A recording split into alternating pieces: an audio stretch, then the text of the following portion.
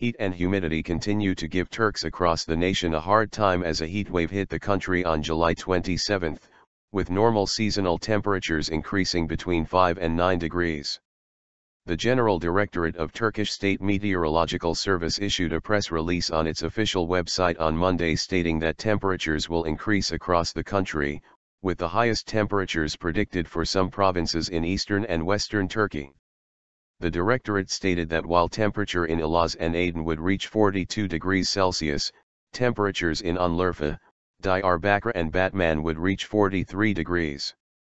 The Directorate also warned people in Turkey against possible heat-related risks, saying, We as the General Directorate of Turkish State Meteorological Service advise our citizens not to go outside between 10 am and 4 pm if they do not have to, in order to be protected against the hot weather and sunstroke.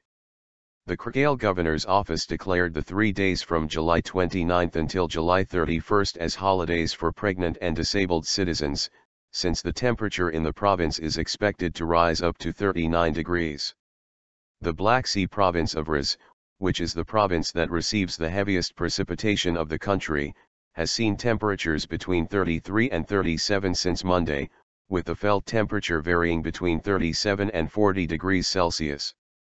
The Rize governor's office also released a written statement, urging people in the province to follow meteorological advice. The Şırnak districts of Silopi and Cizre saw temperatures soar to 43.5 degrees Celsius on Tuesday, making them the hottest areas in the country.